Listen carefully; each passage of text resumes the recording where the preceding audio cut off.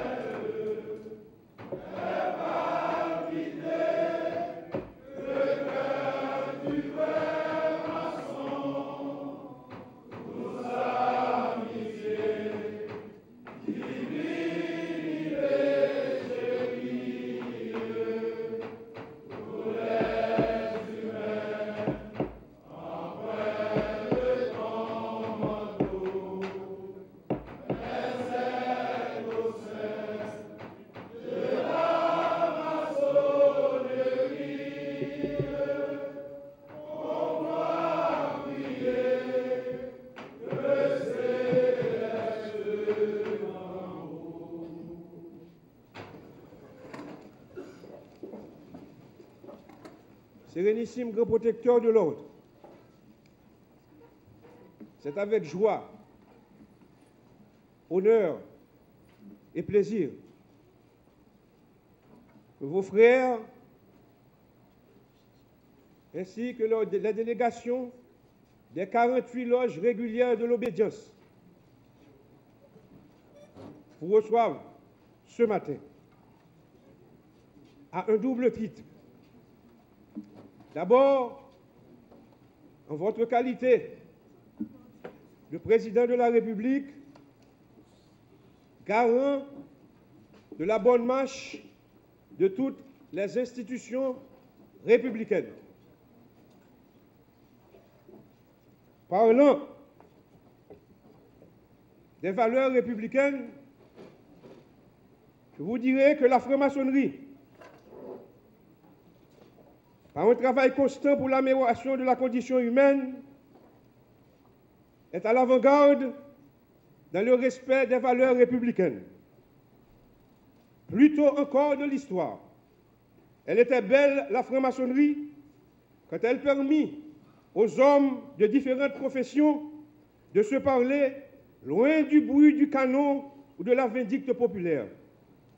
Liberté, égalité, fraternité, notre devise au sein de la franc-maçonnerie, eh bien, les frères qui nous ont précédés, ils ont été les veilleurs de nuit de la liberté, que la servitude était la règle. Ils furent les défenseurs de l'égalité, alors que le privilège s'imposait comme fondement de l'organisation sociale. Et enfin, ils furent les praticiens de la fraternité face à la tentation égoïste qui sommeille en chaque individu. Nous vous recevons encore ce matin en votre qualité de sérénissime grand protecteur, dans le respect de notre Constitution et de nos règlements généraux.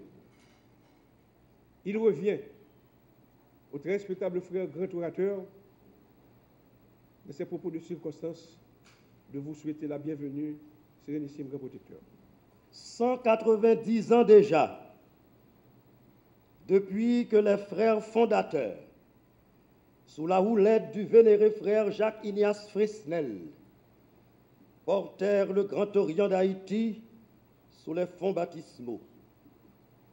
Aujourd'hui donc, nous entrons dans l'ère de la décennie du deuxième centenaire de l'ordre maçonnique d'Haïti. Aussi, lancé du haut de cette chaire oratoire, un pressant appel à tous les francs-maçons haïtiens pour que ces dix ans préparatoires à cette grande fête de la lumière en janvier 2024 soient l'occasion pour nous de repriser notre tissu maçonnique, cautériser les blessures peut-être encore béantes dans nos cœurs, pour que la franc-maçonnerie haïtienne puisse enfin jouer son rôle salvateur d'avant-garde pour la transformation de notre société, la reconstruction mentale de l'homme haïtien et la reconstruction physique de cet Haïti, ce morceau d'île, réservoir inépuisable de secrets dévoilés et de connaissances à révéler, afin, afin que s'accomplisse la grande quête selon le plan du grand architecte de l'univers. Bien-aimés frères,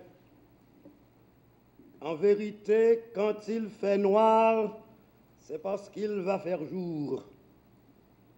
Nous ne pouvons pas fuir nos responsabilités envers notre patrie, nos semblables et nous-mêmes. Les travaux qui nous attendent ne sont pas au-dessus de nos forces. Il ne nous manque qu'à nous mettre ensemble pour renforcer chaque maillon de la grande chaîne et affronter la réalité.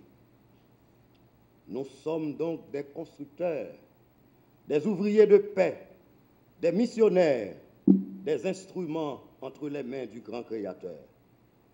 Nous sommes francs-maçons, condamnés à réussir, mais aucune réussite ne sera personnelle car le sauvetage est collectif. C'est avec une immense joie que je me retrouve avec vous ce matin pour participer dans ce temple sacré, la respectable loge, l'amitié des frères réunis numéro 1, à la fête de l'ordre maçonnique haïtien. Ma joie est d'autant plus grande depuis mon investiture comme grand protecteur de l'ordre se déroule en ma présence cette grande solennité sous le signe de la fraternité retrouvée entre des frères qui, pendant 14 ans, ont souffert dans leur cœur et dans leur âme les affres de la division et de la discorde. Je me félicite d'avoir pu humblement apporter ma contribution à la réunification des deux branches de notre ordre par un dialogue franc et sincère à la dimension de l'idéal maçonnique. Que tous ceux qui ont contribué à cette œuvre mémorable soient publiquement remerciés. Je veux croire que cette flamme de l'amitié brillera de ses mille feux pour renforcer notre égrégore et nous donner plus de force afin de travailler pour la paix qui doit garantir le bien-être de tous. C'est pourquoi je lance un appel fraternel à tous les frères de l'obédience pour que se poursuive le dialogue devant aboutir à la réunification complète de la maçonnerie capitulaire haïtienne au niveau des deux rites pratiqués dans l'obédience.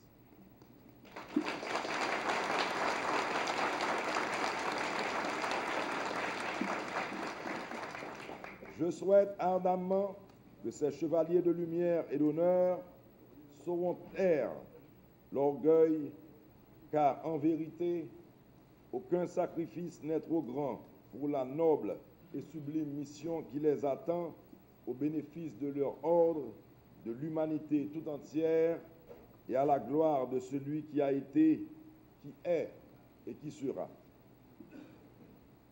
Frères, qu'il me soit permis de rendre un hommage mérité à notre très illustre frère Jacques Ignace Fresnel, qui a su, à un moment critique de l'histoire maçonnique haïtienne, 20 ans après notre indépendance nationale, rassembler tous les frères haïtiens pour se détacher de la Grande Loge unie d'Angleterre et se constituer en puissance maçonnique indépendante en janvier 1824 sous le titre du Grand Orient d'Haïti. Aujourd'hui, nous sommes dépositaires d'un legs, d'un idéal qu'il nous faut à tout prix préserver. Faisons en sorte que les ressources psychiques, morales et spirituelles acquises dans la franc-maçonnerie par la voie initiatique aient une profonde répercussion sur notre vie et sur l'ensemble de la communauté haïtienne. En vous formulant mes voeux à l'occasion de la fête de l'ordre, que le grand architecte de l'univers, dans sa bonté infinie, répande sur chaque Haïtien et Haïtienne cette parcelle de lumière porteuse de tolérance et d'intelligence pour la reconstruction du temple qu'est notre cher Haïti dans la paix, la joie et le progrès. Bonne fête, mes frères.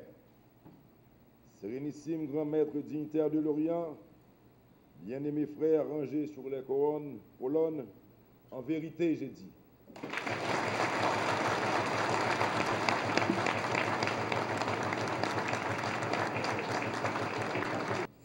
Très cher frère grand orateur, Famille haïtienne, famille universelle, la gloire du grand architecte de l'univers, Grand Orient d'Haïti de 1824, hommage au grand protecteur de l'ordre maçonnique haïtien, Sérénissime Michel Joseph Martelly, pour sa contribution à la réunification du Grand, du Grand Orient d'Haïti de 1824, le 12 janvier 2012. Port-au-Prince, le 26 janvier 2014, Vénérable Maître Yves Benoît Jean-Marie Grand Maître, Vénérable Maître Smith Bartellus Grand Secrétaire, Vénérable Maître Emmanuel Ménard, Grand Gardien de la Loi.